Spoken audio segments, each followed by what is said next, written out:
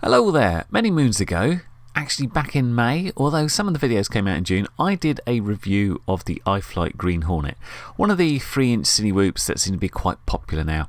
And I had one or two problems with it. Quite specifically, I had a bit of a range issue where, aside from the fact that you know the VTX wasn't fantastic, I was getting a lot of link quality messages popping up, and I actually had a RX loss in my maiden flight, which made me wary. Um, but the biggest problem I was getting is motor heat. Uh, really, really hot motors coming back from the flights I was doing. So I wanted to uh, try and get this fixed and engage with iFlight about how to do this. So I think I finally got it sorted, and I thought I'd show you my journey and, and what I was doing with iFlight and, and what happened. So essentially, after that initial review, I got in touch with them and said, Look, I've been flying this and the motors get really, really hot.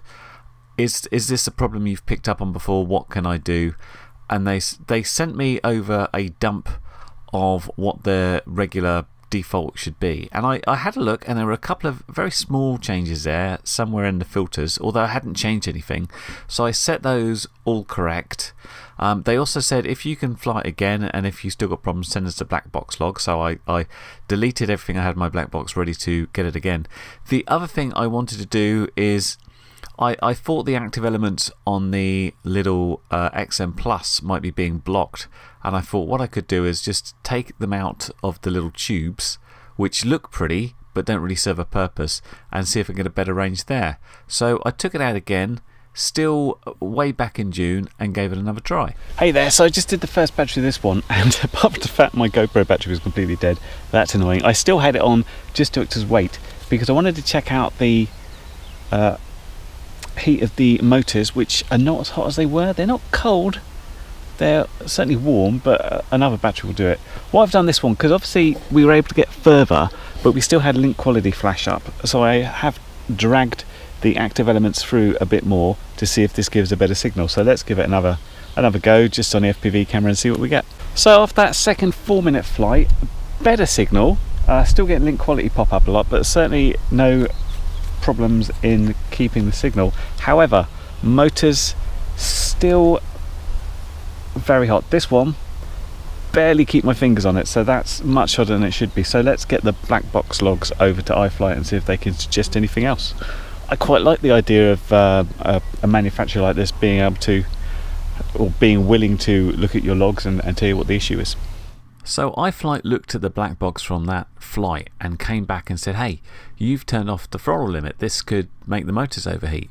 And I had done because I saw it and it was just part of my rate settings. You know, I changed my rates to how I like and I noticed it had a throttle limit and I thought, oh, this is just to help people fly gently. I'll change that.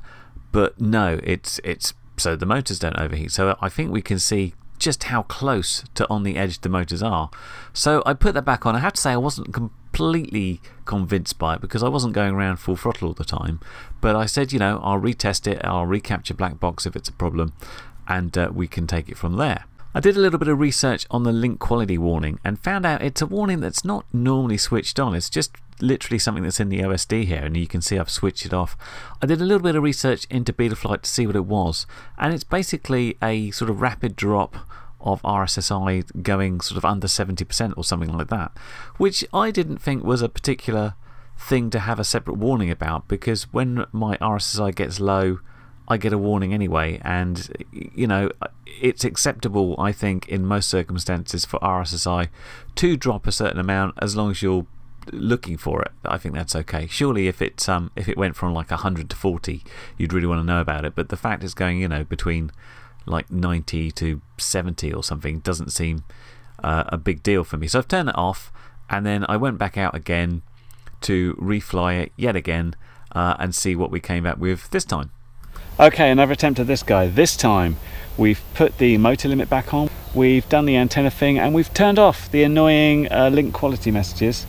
Let's see if the motors are to heat up or they're to be alright. Okay, so that was one five minute flight on this thing with an 1800 battery and I just put my fingers on here and literally uh, uh, they burnt my fingers. The front motors are intensely, ouch, really, really hot. I mean, insane. rear motors, they're warm, but not too hot. it's got to be the like the front mounting of this. Like if you hold it in the middle, obviously it's going to tip that way because it's holding up this GoPro, um, and most of the weight is at the front, and it's just it's just not surviving. These motors are going to burn out at this rate very quickly. Um, I was starting to get some oscillations. I wouldn't be surprised if that was the motor just struggling there. So I can't really try this again because it's going to explode. I'll capture that black box and I'll send it back again and say, look, I tried it this time. This is what happened. So the black box logs went off again to iFlight and they said, oh, it, it, it should be fine. We, we can't see there's a problem with anything you're doing. Perhaps it's a bit heavy. Have you tried moving the battery back? And I'm like, yeah, as far as, as it would, but obviously there's a GoPro on the front. And then they came back and said, we think it's too much weight. And I said to them, well, this is how much weight it is. And I sent them this little screenshot of uh, Instagram I took when I was sort of making fun about how heavy it was. And what I asked him is like, well, what's the max weight it can support? And I'll, I'll see what I can do. And I really didn't get an answer. And at this point, um, I don't know if they lost interest or they were they, they were moving locations and stuff like that. But I had to keep chasing and chasing and chasing. And several months went by until they came back and said, oh, You've got one of the first batches from Banggood, and they were keen to stress it's not the main reason we've changed everything, but we've now changed it to use Xing 1408C motors, Nazgul Cine 3040, which can have better performance in those ducts, and uh, we've also replaced the frame. So, pretty much replaced everything except the main stack. Uh, and, and they're saying, well, we can send you this if you want to try it out. And of course, I'm like, well, sure, because I'd like to see if it can actually fly nicely. So, then we wait. And I had to chase up a few more times before we eventually got them to dispatch the stuff, but eventually it got here. And this is, brings us up pretty much to today, all the way over in October. So I'll run you through exactly what happened, what we got, and uh, what happened when we tried it. Okay, yesterday this turned out from iFlight. It is a package containing motors, but some other stuff as well. Uh, aside from stickers that we don't really care about, these are new props and uh, we got some other bits. Let me show you what we got. New, these bits, got the inner thingies here. The new frame, which I haven't really looked in detail yet. Looks very much like the old frame, doesn't it? But we'll see. A lot of screws and some um, printed bits. Some more LiPo straps. Some more bits of sticky friction things to keep the batteries on usefully. There's a frame assembly guide. And most importantly, the motors. Hopefully these are the things that are going to make all the difference. These are Xing 1408 3500 kV. Do they look different from those ones? The quick answer is no. I mean, they seem to look exactly the same, but the props look maybe different. Anyway, uh, we have to take this completely apart and rebuild it back with the bits we've got there now. So that's the next small job to do. Well, here I am halfway through my build and basically I've just put the new motors on the new frame and I've hooked it up to the uh, existing stack we had essentially. Um, and I've just had a, a, much more closer look about what's going on just to show you what the difference is. And first, I, I couldn't notice what the change was here because we've got 3800 um, 1408 here and this is one of the old motors and you can see it's also a 1408 uh, 3800 but the difference is in the letter. This is a Xing E. There's the E there. The new ones are Xing C's. So that's the difference C versus E. Let's hope it does make a difference. Now at first I couldn't tell any difference in the frame at all. Uh, and this is the top of the frame. It's just going to pop on like that but the difference is a bit more obvious if I bring back the old top part of the frame and I overlay that on those central holes. And if I do that, you can see that this older frame is a bit smaller. If I turn it over, you can see how the holes have been made larger on the new frame and this because each hole is larger we've had to move those out a little bit so the entire frame has just become a little bit longer because of it. Um, clearly there was there's perhaps a problem with the props getting too close or maybe striking uh, the sides there. The last thing was the prop. This was the original prop we had.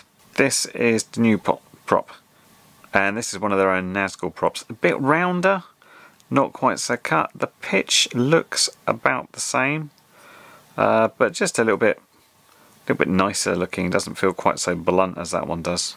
Anyway, Um, I stopped here because, uh, of course, no doubt these motors are going to all be spinning the wrong way. So I'm going to connect that up, make sure the uh, motors are spinning the right way before I put the top on, and then uh, ready to put the, the new props on, and then we'll be up and flying again, hopefully. Well, here we are again. The Green Hornet's back. Frame changed, motors changed. Everything else um, I've set up in the same way because I wanted to make sure it, it was the same. So GoPro 7 on there with the traditional GoPro mount. We've got uh, 1300 milliamp hour 4S. I'm, I'm erring on the side of caution as far as battery size goes because I think we want to keep the weight down as much as we can. So 1300, I've got one 1550 depending how it goes. And uh, yeah, let's let's see what happens when we fly this. Let's see if the motors overheat or or don't. Essentially, it is a colder day than normal. Um, it's definitely uh, a bit nasty. There's a bit of moisture in the air, a couple of drops of rain. I don't think that should affect um, the motor cooling that much. I mean, they'll help a little bit, but if they're if they're overheating because they're overworking, uh, the colder air is, is not going to help too much while it's flying around. I don't think. But let's try it and see.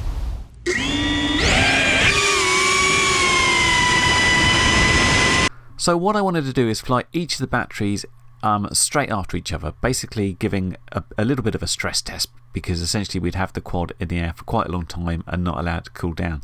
After each of the batteries, I would then check all the motors out and see how they felt before going on and doing the next one and uh, try and just record my feelings about it, which I'll just share a, a few of the bits with you here. Okay, let's unplug you and let's have a feel of these motors. Ooh. Success. Partial, tiny bit of warmth, but it's not really warming my hands up, which are quite cold, so I think that's good. Uh, I'll put the other 1300 on and then we'll try the 1550. Okay, after the second 1300.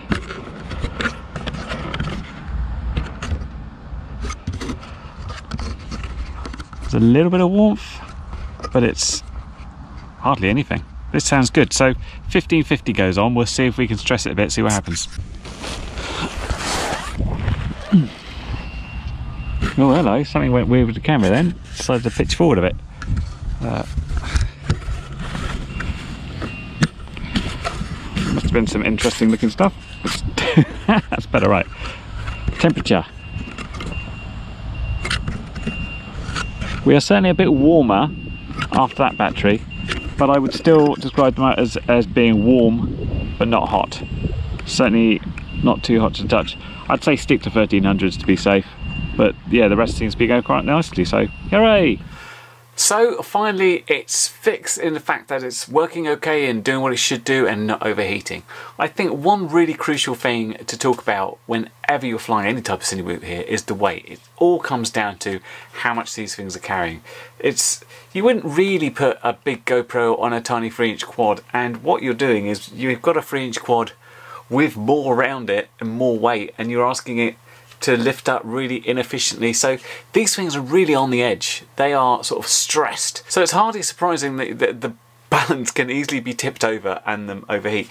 And I get a lot of comments about people saying this or that Cinewhoops overheating what can you do? So I think the most crucial thing on this one is to keep the weight down where you can, and this means the, the LiPo. As much fun as it is to get a, a longer flight and maybe tempted to use 1800s or 1550s, even the 1550, the sort of the bit of heat was coming back a bit more. 1300s, it ran cool, and I think I wouldn't go above that. You know, you just take the shorter flight times, you just take more batteries with you and do that. Still very much, as I've mentioned many times, a niche product in my opinion. It's not something you go out and fly for fun. It should be something that you're going to do a specific purpose for and that's normally for filming where you, you you haven't got control of everything around you. So there might be people around might be stuff that you don't want to risk injuring and bashing into. That said now I've only had a couple of these things. These are all the rage everyone's speaking about. Would I choose this as the Cinewhoop I'd go with. And the answer would surprisingly be no. As much as I like iFly and think they make very good stuff the little Eachine Civita, Caviton, whatever it's called, uh, completely outflew it. First off, it's got a, a nicer flight controller and just felt smoother in the air. It's got slightly different motors. These are 1408s, these are 1507s. Maybe that slightly larger motor uh, gives it a little bit more smoothness, stops it overheating. I didn't have any overheating problems with this one. Um, it flew really nicely, good f7 on board, much better camera. This camera sucks, and I didn't have to fiddle around with this to get the range issue sorted out. I've had people complaining about problems with this one, and people complaining that they've got the Xing C motors as I've already got here, and there's still a problem with them. So I, I don't know what to say. If you've if you've got a problem with your one, it's worth getting uh, in touch with iFlight and reporting the problem and see if they want your black box logs, see if they can diagnose anything and seeing if they can resolve the problem. That's really all I can suggest, aside from the fact that I don't really quite know why these are so popular because I don't think there's that many people going out and doing commercial filming on them. Um, I, I really wouldn't encourage you to get this as something that's like, oh, it doesn't matter if we bump into a wall or a tree or stuff because it's they don't fly as well. They're just like take a normal 5 inch, take a 3 inch, learn to fly it, take the crashes, and uh, you know change your bunch of props. These are flying okay, but they, they're just not as good as your standard quad without all the extra weight and ducks and stuff like that. That said, it's fixed. Hooray, we've got a working one. Uh, thanks to iFlight for helping me out and getting there in the end. Hope this video has been helpful, especially if you're having problems with your own Cinewhoop. Keep the weight down as much as you can contact back with the manufacturer if you've got problems, see what you can get there. Anyway, I'll catch you next one. Bye for now. Well, you've made it to the end of the video, so thanks once again for watching. If you like what you saw, then please consider subscribing, and if you really like what you saw, then be sure to check out the link to my blog for a variety of ways in which you can help support this channel.